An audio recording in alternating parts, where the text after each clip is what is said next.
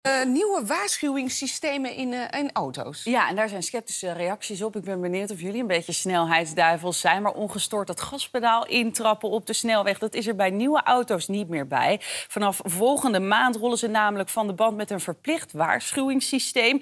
Dat heet dan de intelligente snelheidsassistentie. Dat is een piep die je hoort als je harder rijdt... dan de maximum eh, snelheid die is toegestaan. Dus zelfs bij 1 kilometer per uur te hard piepen veel systemen al. Per 7 juli juli is dat bij nieuwe auto's dus verplicht. En dat is een maatregel vanuit Brussel. Nou, het systeem moet de wegen in Europa veiliger maken. Dus ook hier. Maar in de Telegraaf lezen we deze ochtend dat dit systeem de veiligheid nou niet per se alleen maar bevordert. Dat komt bijvoorbeeld door de plek waar dat systeem dan zit. Je moet je ogen van de weg halen, niet per se veilig. En dat komt ook doordat je dat systeem ook uit kunt zetten als je er geen zin in hebt. Nou, automobilisten die zien het nog niet echt voor zich.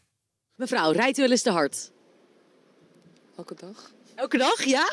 Ja, gaat automatisch. Net even te hard, net even dit, net even dat. Ik koop geen nieuwe auto's, dus ik, ik hoef geen piepjes. Dus dat is ook uw oplossing? Gewoon nooit een nieuwe auto meer kopen? Nee, gewoon tweedehands. Weer goedkoper uit. Natuurlijk mag je niet te hard rijden, maar mag het ook je eigen keus zijn hoe hard je dan rijdt. Ja, raar vind ik het. Het is super irritant, want ja, het systeem heeft over het algemeen nul tolerantie. Dus zodra ik maar één kilometer over die maximumsnelheid gaat, die die denkt te herkennen, want dat doen ze vaak ook nog niet goed. Hè. Die systemen die herkennen de verkeersborden, et cetera, maar lezen ze ook heel vaak fout. Gevolg heel veel onnodige piepjes en uh, ja, die wil je dus uitzetten en dan wordt het onveilig. Dat leidt ook af hè, natuurlijk. Daar moet je toch niet aan denken?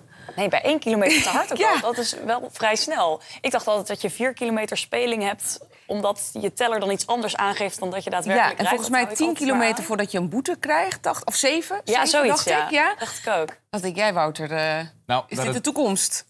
Dat denk ik wel. Het beste nieuws is dat je het uit kan zetten. Maar het is ook het, is het ingewikkelde, de, de, de, de verhouding tussen de techniek en veiligheid. Want dit is wat er bij auto's gebeurt. Uh, heel veel auto's hebben tegenwoordig ook een systeem dat ze zien als er iemand oversteekt, bijvoorbeeld. Mm -hmm. En dan grijpt hij in. Ja. Maar dat heeft ook tot gevolg dat als er een, een hardloper bij een stoplicht staat, dat heb ik al een keer gehad, dat je auto denkt, hé, hey, er loopt iemand. En dan, dan schrik je het rambam. Dus het, het zit een beetje tussen wat is nou veilig ja. en wat wordt heel betuttelend? Nou, ik vind die automatische stuurcorrectie vind ik ook wel tricky soms. Je schrik je kapot. Ja. Ja, ja, ja. Dat opeens de stuur... Zo... Nou, goed, uh, er moet nog veel... Uh, auto's jullie al. Ja, ja, ja. Al. Die, mij gaat ik heb geen door. Levensgevaarlijk. Levensgevaarlijk.